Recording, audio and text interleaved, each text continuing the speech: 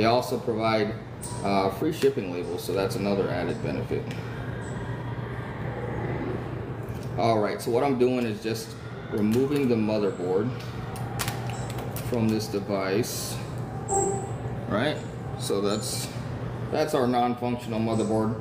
Again, we're gonna go ahead and keep this because our uh, board technician can salvage the uh, the memory devices from these, and then after that, we'll probably go ahead and recycle it through our uh, our partner corporation there, uh, our partner company, Cycle Cycle Core, as stated earlier.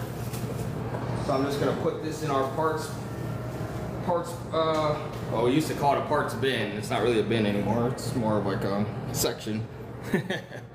but um, yeah. But if you guys have any questions throughout this repair, please let me know. Excuse me, got a little acid reflux going on here. but um, yeah, so this is our housing. This is good to go now. We're going to go ahead and start transferring components into this. This uh, this rear camera. We're gonna save.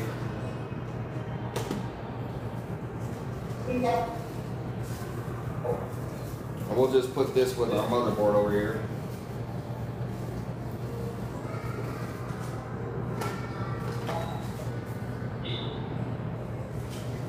All right.